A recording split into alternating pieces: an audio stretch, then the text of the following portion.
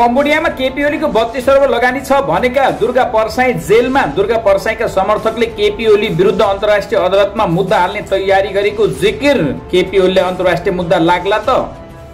रवि लामी छाने सहित दसजना विरुद्ध चितावनबाट पनि पक्राउ पूर्जी जारी। रवि लामी छानलाई फेरि चितावन पनि लगिने। मोरङबाट तस्करीको लाइन सुचारू महिनावारी असुल्न घुमुवा परिचालन। रवि लक्षित प्रधानमन्त्रीको टिप्पणी आफू सहकारी ठग्ने अरूलाई दोष लगाएर मुखमा आएको गाली बक्ने। दरबार मार्गबाट एमाले दिएका छ प्रष्टीकरण। दुर्गा परसाईको प्रभाव घट्दै पक्राउसँगै प्रदर्शन कमजोर। अघिल्लो वर्षको उभार ओझेलमा पर्यो। हजारबाट सयमा झर्यो दुर्गा पर्साई पक्षको भेला। उपनिर्वाचनको तयारीमा लाग्न काङ्ग्रेसले पठायो। सर्कुलर आयोगद्वारा उपनिर्वाचनको नमुना पत्र सार्वजनिक। प्रहरी अतिरिक्त महानिरीक्षक दुई गुरुङ र ढकाललाई दर्जानी चिन्ह प्रधान। ओलीले गले चीन भ्रमणको मिति घोषणा। रवि लामिछान र दुर्गा पर्साई बारे के भने त? यसको पुरा जानकारी? नाना घिटीको गेटबाट ओलीको गर्जन फाल्तु कुरा गरेर कोही भ्रमित हुँदैन। एमालेको अनौठो रमिता बाहिर हुँदा ढुक्ने। सरकारमा गएर सडकबाट थुन्ने। सहकारी ठगीमा रवि र छवि विरुद्ध चितवनमा पनि पक्राउ पूर्ति जारी। छविको काठमाडौँमा बयान रविलाई पनि ल्याइँदै रवि लक्षित प्रधानमन्त्रीलेको टिप्पणी आफू सहकारी ठग्ने र अरूलाई दोष लगाउने रवि र छवि सहित दसजना विरुद्ध चितवनमा पनि मुद्दा। रवि लामिछानलाई अझै कुन कुन जिल्लामा मुद्दा लाग्लान् त यसको पुरा जानकारी। कालीकोटबाट टिकापुर जाँदै गरेको बस सिस्नेरीमा दुर्घटना हनी ट्र्याप घटना इन्सपेक्टर फरार अनुसन्धान प्रतिवेदन सरकारी वकिलकोमा। रवि लक्षित प्रधानमन्त्रीले गरे यस्तो दोष। के साँच्चीकै कम्बोडियामा केपी शर्मा ओलीको लगानी छ त? के भन्छन् विज्ञहरू? के भन्छ समाचारदाता? यसको पुरा जानकारी रवि लामी छानेको लागि फेरि पनि किन सरकारले यसरी निर्ममतापूर्वक प्रस्तुत हुँदैछ? प्रधानमन्त्री केपी ओली र भारतीय सेना अध्यक्ष द्विवेदी बीच भेटवार्ता। उपनिर्वाचनमा काङ्ग्रेसको प्रतिबद्धता सहकारी पीडितको बचत फिर्ता र दोषीलाई कारवाही हिरासतबाट रविको चिन्ता राजसभा भित्रको एकता तलमाथि हुनु भएन। विराज भक्त श्रेष्ठसँग रवि लामिछानले भने जनताले आफै बुझेका छन्। र प्रधानमन्त्री केपी ओलीको आक्रोश कुलमान घिसिङको कदमलाई षड्यन्त्रको संज्ञा उद्योग र रोजगार सङ्कटमा परेको आरोप।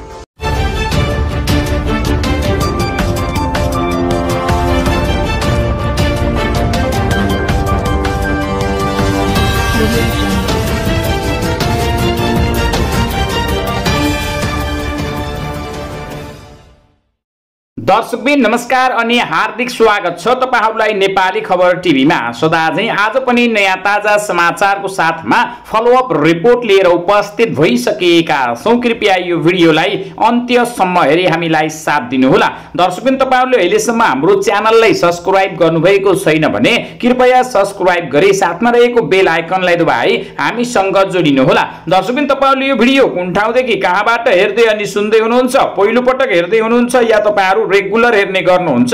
कृपया कमेन्ट बक्समा सानो कमेन्ट छान्न भने झर्को नमानिदिनुहोला। दर्शकवृन्द अब सुरु गर्न चाहन्छौँ पुरा समाचार। सहकारी ठगी प्रकरणमा राजसभाका सभापति रवि लामिछाने सहित दसजना विरुद्ध चितवनमा पनि पक्राउ पूर्जी जारी भएको छ। जिल्ला अदालत चितवनको न्यायाधीश दयाराम ढकालले शुक्रबार पक्राउ पूर्जी जारीको लागि अनुमति दिएका हुन्। रविसँगै नेपाल प्रहरीका पूर्व डिआइजी छविलाल जोशी सहित दसजना विरुद्ध पक्राउ पूर्जी जारी भएको हो। चितवनको सहारा सहकारी पीडित चौबिसजनाले उनीहरू विरुद्ध पूरक जारी दिएका थिए। सहाराबाट गोर्खा मिडिया सहित पाँचवटा संस्था तथा कम्पनीमा रकम पठाइएको देखिएकाले संस्थाका सञ्चालक तथा पदाधिकारीले पक्राउ गर्न अदालतले अनुमति दिएको छ। रवि कार्तिक दुई गतेबाट कास्की प्रहरीको हिरासतमा रहेका छन्। यसअघि रविलाई पक्राउ गर्न कास्की सहित रूपन्देही र काठमाडौँबाट पनि पक्राउ पूर्जी जारी भएको थियो। नेकपा एमालेका अध्यक्ष तथा प्रधानमन्त्री केपी शर्मा ओलीले विद्युत प्राधिकरणका कार्यकारी निर्देशक कुलमान घिसिङको कदमलाई षड्यन्त्रको संज्ञा दिएका छन्। प्रधानमन्त्रीको बहाल भएको बेला पार्टीको तर्फबाट भन्दै दरबार मार्गमा गरेको सडक सभामा एमाले अध्यक्ष समेत रहेका प्रधानमन्त्री ओलीले बाँकी रहेको उद्योग बन्द गराउने र मजदुरको रोजगारी खोज्ने षड्यन्त्र भएको बताए। उनले सरकारले भनेको नमानेर लोकप्रियताको दौडमा निस्कने छुट प्राधिकरणको नेतृत्वलाई नहुने पनि सन्देश दिएका छन्। उद्योग बन्द गराउँदा गराउँदा कुनै उद्योग बाँकी छन् भने बक्यौदा उठाउन छोडेर विद्युतको लाइन काट्ने ओलीले कुलमानको नाम नलिकन भने अहिले सरकारले भनिरहेको छ बकेउदा उठाउ विद्युत महसुल। आयोगले जे भनेको छन् त्यस अनुसार उनले आयोगको टिओडी मिटर अनुसार दैनिक उपभोग गरेको विद्युतको मिटर अनुसार पैसा असुल गर भनेको भन्दै लाल आयोगको लाल आयोग बन्यो। लाल आयोगको प्रतिवेदन कार्यान्वयनमा पनि प्राधिकरणले नगरिरहेको उनले बताएका छन्। त्यस अनुसार महसुल उठाउनु भन्दा त्यो अनुसार नउठाउने अनि विद्युत प्रसारण लाइन काटेर देशको अर्थतन्त्र देशको उद्योगहरूलाई बन्द गरिदिने मजदुरहरूलाई बेरोजगार बनाइदिने निर्यातलाई चौपट बनाइदिने उत्पादन खत्तम बनाइदिने प्रधानमन्त्री ओलीले भने यस प्रकारको षड्यन्त्र भइराखेको जिकिर गरेका छन्।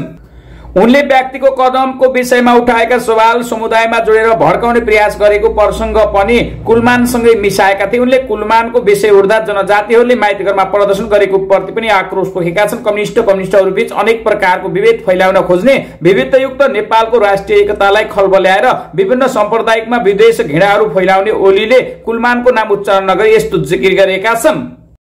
त्यस्तै सरकारको नेतृत्व गरिरहेको नेकपा एमाले शुक्रबार सडकमा ओर्लियो। सत्ताकै नेतृत्वकर्ता दलले नागरिकलाई उल्टे शास्ति दिँदै प्रतिपक्षको मान्ने सडकमा शक्ति प्रदर्शन गरेको छ।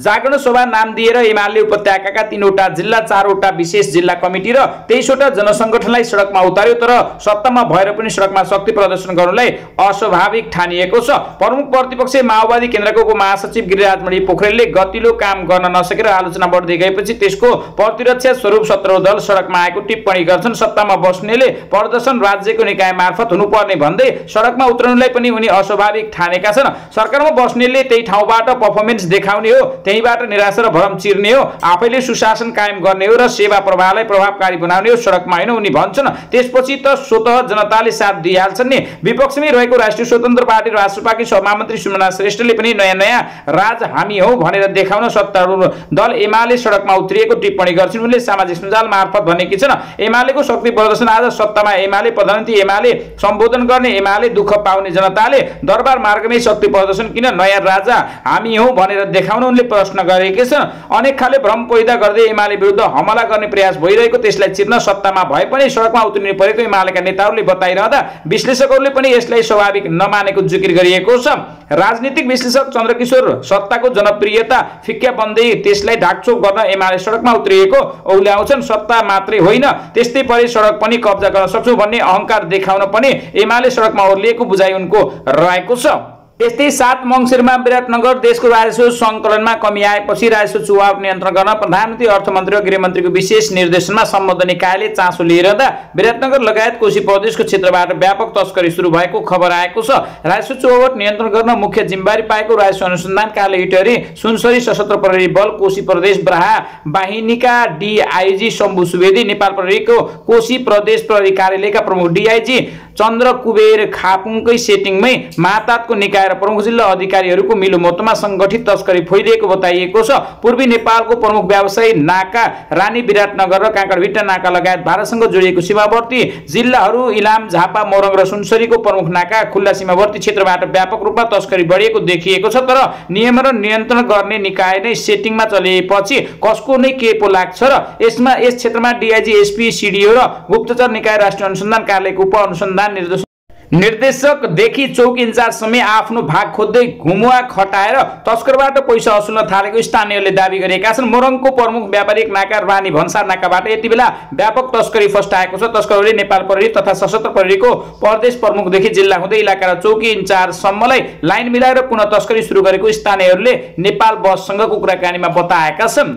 यस्तै प्रधानमन्त्री केपी शर्मा ओलीले कानुन विपरीत काम र अपराध गर्नेलाई सरकारले नछान्ने स्पष्ट गरेका छन्। काठमाडौँमा आयोजित जनजागरण सभामा सम्बोधन गर्दै एमालेका अध्यक्ष समेत रहेका ओलीले स्थिरता र सुशासनको लागि सोच विचार गरेर एमाले र नेपाली काङ्ग्रेस मिलेर सरकार बनाएकाले सरकारबारे गलत कार्यलाई नियन्त्रण गर्न सक्षम रहेको बताए आफूहरू विरुद्ध अनेक हल्ला चलाइए पनि एमाले भ्रमको पछि नदौडाने जनाउँदै उनले कानले कागले कान लग्यो भन्दैमा कागका पछि आकाशतर्फ हेरेर कागको पछि पछि दौडन आवश्यकता नरहे रहेको बताए। उनले राजसभा सभापति रवि लामछानलाई लक्षित गर्दै भने आफू सहकारी ठगी गर्ने अनि अरूलाई दोष लगाउने मुख छान्ने गाली गर्ने जस्ता काम भएका छन्। यस्ता कुनै पनि प्रकारको ठगी सही हुँदैन। नेपाली जनता आफ्नो अंश संस्कृतिको इतिहास र गौरवलाई कायम गर्दै समृद्ध नेपाल सुखी नेपालीको सङ्कल्पलाई पुरा गर्दै अगाडि बढ्नेछ। नेपाली जनतामा भरममा पर्दैन पर्नु हुँदैन।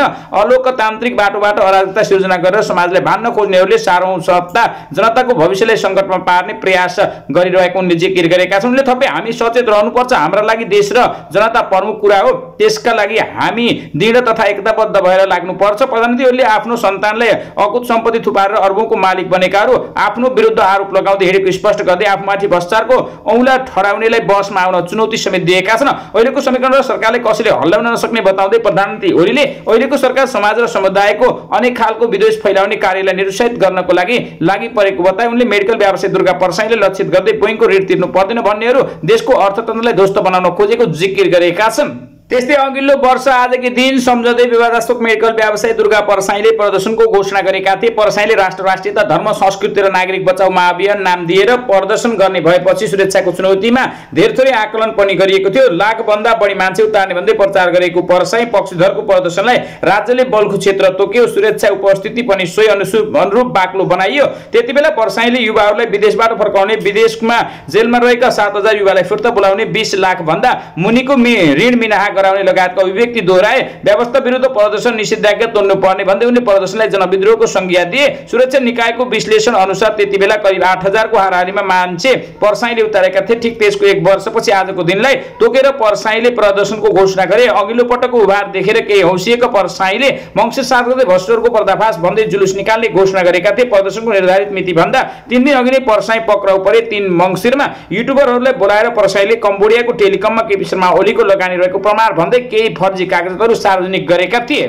प्रहरीको केन्द्रीय अनुसन्धान ब्युरो सिआइबीले नक्कली कागजात बनाएर भ्रम सिर्जना गरेको भन्दै प्रसाईलाई भक्तपुरको उनकै निवासबाट पक्राउ गरे। त्यसपछि केन्द्रीय साइबर ब्युरोको जिम्मा लगाएपछि प्रसाई विरुद्ध काठमाडौँ जिल्ला अदालतबाट साइबर अपराध लगायतको कसुरमा पाँच दिनको म्याद दिएर अनुसन्धान भइरहेको छ। प्रदर्शनभन्दा अगाडि सरकारले पक्राउ गरेर आन्दोलन दबाउन खोजेको पर्साई स्वयंले आरोप लगाएका थिए। आज शुक्रबार पर्साई समूहले कोटेश्वरमा गरेको प्रदर्शनमा उक्त कुरा दोहोऱ्याइएको थियो।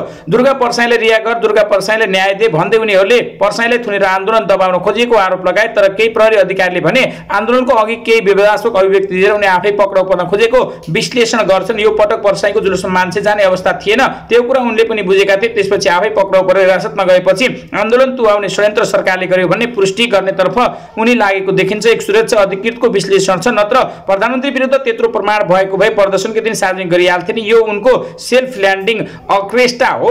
अघिल्लो वर्षको प्रदर्शनमा करिब आठ हजारको हारानीमा मान्छे उतारेको पर्साई अहिले पाँच सयको हारानीमा पनि मान्छे नरहेको सुरक्षा निकायको विश्लेषण छ। कोटेश्वरबाट बालकुमारतर्फ जाने बाटोमा आकाश पुल अगाडि एक लेनमा सानो सङ्ख्यामा पर्साईका समर्थकहरू जम्मा भएका छन्। राष्ट्रिय झण्डा लिएर सडकमा उत्रिएका अधिकांशको जस्तो बाहिर जिल्लाबाट आएका व्यक्तिहरू रहेका छन्। विशेष गरी मधेसी मूलका महिलाहरूको बाल्यता पर्साई समूहको प्रदर्शनमा देखिन्छ। सुरक्षा निकायले सोचेभन्दा कम सङ्ख्यामा पर्साईका समर्थकहरू सडकमा उत्रिएका छन्। सानो सङ्ख्यामा प्रदर्शनकारी हुनलाई पर्साईको पक्राउसँग पनि जोडेको जिकिर गरिएको छ। त्यस्तै राष्ट्रिय स्वतन्त्र पार्टी राजसभाका सभापति रवि लामछान र पूर्व डिआइजी छविलाल जोशी विरुद्ध चितवनमा पनि पक्राउ पूर्जी जारी भएको छ सहकारी ठगी प्रकरणमा जिल्ला अदालत चितवनमा न्यायाधीश दयाराम ढकालले शुक्रबार रवि र जोशी सहित दसजना विरुद्ध पक्राउ पूर्जी जारीको लागि अनुमति दिएका हुन् सारा सहकारी पीडित चौबिसजनाले उनीहरू विरुद्ध पूर्वक जारी दिएका थिए त्यस्तै नेपाली काङ्ग्रेस स्थानीय त उपनिर्वाचनमा सहकारी ठगीमा परेको नागरिकको बचत फिर्ता गराउने सहित छ प्रतिबद्धता व्यक्त गरेको छ। महामन्त्री तथा उपनिर्वाचन केन्द्रीय संयोजन समितिका संयोजक विश्वप्रकाश शर्माले पार्टी पङ्क्तिलाई पठाएको पन्ध्र बुधे अन्तरिम सर्कुलर सर्कुलरमा सहकारी ठगी गर्नेलाई कारवाही गर्ने प्रतिबद्धता जाहेर गरेको छ। महामन्त्री थापा शर्माले उपनिर्वाचनमा मतदाताबीच लोकतान्त्रिक प्रणालीलाई अझ बलियो बनाउन स्थानीय तहलाई थप जनमुखी बनाउन सङ्घीय सरकारले अझ जिम्मेवार बनाउन सहकारी ठगीमा परेको नागरिकको बचत फिर्ता गराउने र दोषीलाई दण्ड दिलाउन निर्देशन दिएका छन्। यस्तै गाउँ गाउँमा विगतमा पुगेको विकासको कार्य नागरिक पङ्क्तिमा स्मरण गराउँदै अधुरा विकास आयोजनाहरू गति दिएर नागरिकमा नयाँ विश्वास भर्ने काम गर्ने स्थानीयवासीको भावना र आवश्यकता अनुसार स्थानीय स्तरको मुद्दाको जिम्मेवार ढङ्गले नेतृत्व गर्ने पनि भनेका छन्। काङ्ग्रेसले यो उपनिर्वाचनमा पनि सहकारीको मुद्दालाई प्राथमिकता साथ उठाएको छ। काङ्ग्रेसले निरन्तर प्रश्न उठाएपछि राष्ट्रसभा सभापति समेत रहेका पूर्व उपप्रधान तथा गृहमन्त्री रवि लामछानेले सहकारी ठगी प्रकरणमा हिरासतमा परेका छन्। त्यस्तै राष्ट्रिय स्वतन्त्र पार्टीका सभापति रवि लामिछानले राज्यले आफू प्रति गरेको व्यवहार जनताले बुझेको बताएका छन्। सभापति लामिछानले हिरासतमा भेट्न शुक्रबार पोखरा पुगेका संसदीय दलको उपनेता विराज भक्तसँगको कुराकानीमा उक्त कुरा बताएका हुन्। सभापति लामिछानेको भनाइ उद्धित गर्दै श्रेष्ठले भने अब त मैले पनि केही भन्न परेन। पहिला त मैले बोल्नु परेको थियो। अहिले राज्यले के गरेको छ जनता आफैले बुझेका छन् लामिछानलाई हिरासतमा राखेको शुक्रबार पैँतिस दिन पुगेको छ। जनताले दुःख पाउनु हुँदैन भन्ने सभापतिको इच्छा बमोजिम विरोधको प्रदर्शनको शैली फेरिएको श्रेष्ठले बताए। भेटपछि प्रतिक्रिया दिने क्रममा श्रेष्ठले एमालेको आजको प्रदर्शन औचित्यहीन भएको बताएका छन् वर्तमान सरकार डरको मानसिकताबाट बनेको र सत्तारूढ दुई दलले गरेको सातमध्ये सहमतिमा काम हुन नसकेको श्रेष्ठले बताए यो सरकारको निर्माण नै डरमा आधारित छ सम्भावनाबाट होइन श्रेष्ठले बताएका छन् सरकारले सांसद बोलाउने र समितिको बैठक बोलाउने ध्यान नभएको बताएका छन्